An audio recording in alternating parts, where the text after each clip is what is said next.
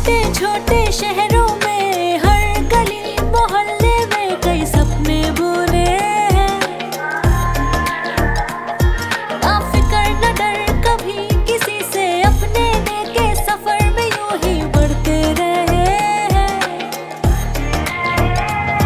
जो रास्ते दिक्कतों ने दिए, मशाल लिए, हम चले।